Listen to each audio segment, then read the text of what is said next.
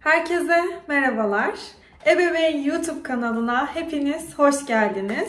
Ben ebeveyn beslenme ve diyet uzmanı, aynı zamanda da emzirme danışmanı Beyza Uyan. Bugün sizlerle çok güzel bir konu özelinde birlikteyiz yine. Anne sütü nasıl artar? Anne sütünü arttıracak ipuçları, işte taktikler nelerdir? Bunlardan bahsedeceğiz. İlk videonun ilk kısmı Ebeveyn YouTube kanalında olacak. İkinci videonun e, ikinci kısmı ise benim YouTube kanalımda olacak. Orada biraz daha beslenmeden, anne sütü arttıracak beslenme programından ve anne sütü arttıracak çaylardan bahsedeceğiz. Şimdi ilk olarak anne sütünü arttırmada birinci kuralımız hepiniz artık biliyorsunuz, aşinasınız. Bebeğinizi bol bol emzirin diyoruz. Ben biraz bu konuyu açmak istiyorum. Neden bol bol emzirin diyoruz biz uzmanlar olarak. Şimdi bizim anne sütünü arttıracak, anne sütü üretimini sağlayan bir hormonumuz var. Prolaktin hormonu. Aslında emzirme döneminde iki önemli hormondan sorumluyuz. Bizi etkileyecek. Biri prolaktin, biri oksitosin hormonu. Bu hormonlar bizim için gerçekten çok önemli bir yere sahipler. İlk hormonumuz olan prolaktin hormonu süt üretimini gerçekleştiriyor. Ve biz ne kadar çok talepte bulunursak o kadar çok süt üretiyor.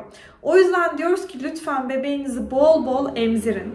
Özellikle yeni doğum yapmış anneler e, bebekleri daha doğrusu ilk yeni doğduklarında e, mide büyüklükleri kiraz tanesi kadar. Sonrasında ceviz büyüklüğüne çıkıyor. Sonra yumurta ve 6 aylık olduğunda bile aslında e, midesinin büyüklüğü bebeğin bir su bardağı kadar. Yaklaşık 200 mililitre kadar. O yüzden e, bebek çok çabuk acıkabiliyor ve çok çabuk doyabiliyor. O yüzden emzirme süreleriyle ilgili biz çok fazla bir şey söylemiyoruz mesela. Ortalama 20 dakika diyoruz ama çok çabuk doydukları için çok çabuk da bırakabiliyorlar memeyi. O yüzden bebeğimizi ilk kural olarak bol bol emzirmeliyiz ve sık sık emzirmeliyiz. Özellikle yeni e, doğduğunda diyoruz. İlk kuralımız bol bol emzirmek. Şimdi gelelim ikinci kuralımıza. Bizim emzirme döneminde bizi etkileyecek ikinci hormon olan oksitosin hormonundan bahsedeceğiz. Burada da o devreye giriyor. İlk başta oksitosin hormonu ne yapıyor? Biraz bundan bahsedelim. Prolaktin hormonu sütü üretti. Salınımı gerçekleştirmek için yani bebeğe ulaştırmak için bir refleks gerekiyor. Ona da oksitosin refleksi veya hormonu diyoruz. E, sütün salınımını gerçekleştiren hormonumuz maalesef ki biraz nazlı bir hormon. Annenin duygu durumundan, düşüncelerinden, stres durumundan doğrudan etkileniyor. Ve anne herhangi bir en ufak bir aman acaba benim sütüm bebeğime yetmiyor mu diye düşündüğünde bile salınımı maalesef olumsuz etkileyip durdurabiliyor. O yüzden lohusalık psikolojisi çok ayrı bir süreç olduğunu tahmin edebiliyorum. E, yani bebeğinizin bakımına özellikle yeni doğum yaptığınızda çok fazla e, zaman harcıyorsunuz ve kendinize zaman ayıramıyorsunuz, yemek yiyemiyorsunuz, e, uyku uyuyamıyorsunuz. Bir yandan bebeğinizde ya umarım sorunlar yoktur ama sütüm bebeğime yetiyor mu, yetmiyor mu bir sürü düşünceler var aklınızda.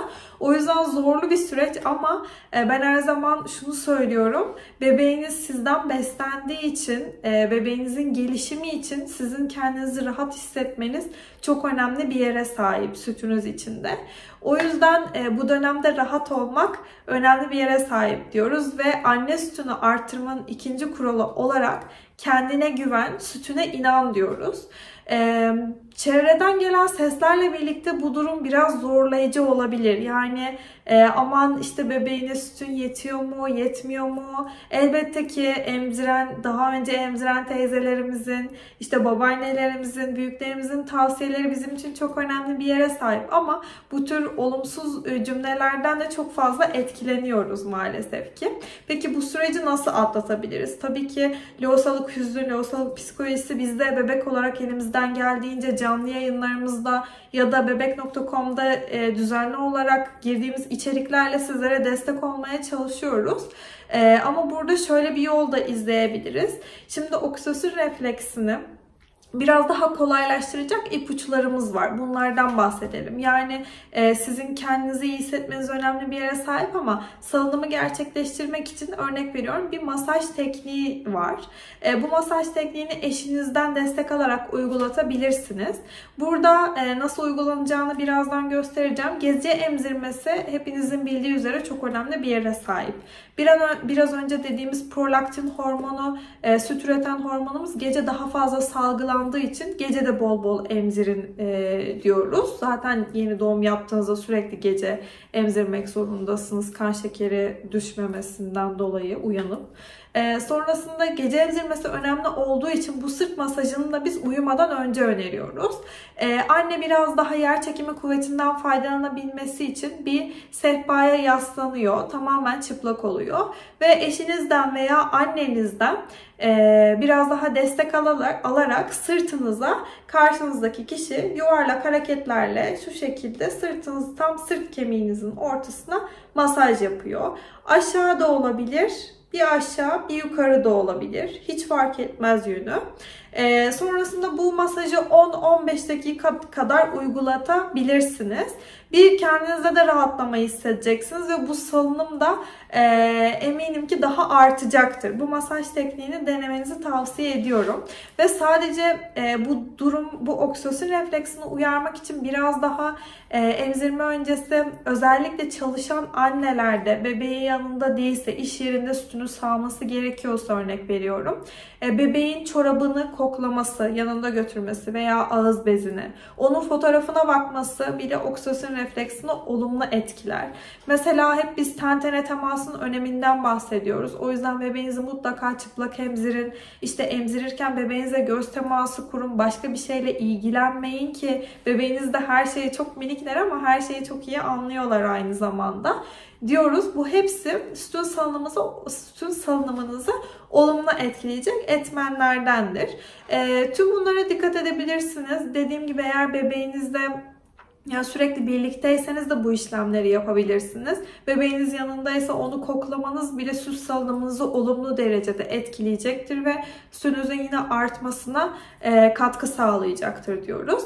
Şimdi ilk kuralımız bebeğimizi bol bol emzirme dedik. İkinci kuralımız sütümüze inanacağız, kendimize güveneceğiz ve dışarıdan gelen seslere en azından bir süre kulaklarımızı kapatacağız. Kötü sözlere daha doğrusu diyoruz. Eğer zaten bebeğinizin e, ayına göre gelişimi normalse biz anne sütünün yeterliliğini en iyi e, neyle anlıyoruz? Bebeğinizin ayına göre gelişimiyle yani tartıyla. Dünya Sağlık Örgütü Sağlık Bakanlığı diyor ki e, bebeğiniz ayda en az 500 gram, haftada en az 125 gram ağırlık kazanıyorsa anne sütü bebeğiniz için yeterlidir diyoruz. Eğer bu koşulları sağlıyorsa sizin ekstradan hiç hiç tedirgin olmanıza e, gerek yok. Zaten kalitesiz anne sütü yok. Her annenin sütü kalitelidir ve gerçekten bebeği için özel üretilmiştir. İhtiyacına göre şekil alır ve değişir. O yüzden sizin kendinizi bu süreçte bebeğinizi bol bol emzirerek rahat bırakmanız hem sütünüz hem sizin hem de bebeğiniz için çok önemli bir yere sahip diyoruz. Şimdi üçüncü kuralımızda beslenmemiz devreye giriyor. Beslenmeyi e, anne sütü artıran beslenme programı ve anne sütü artıran kürlerle birlikte e, benim kanalımda olacak. Aşağıya linki bırakacağım. Oradan tıklayarak videonun devamını izleyebilirsiniz. Şimdilik hoşçakalın.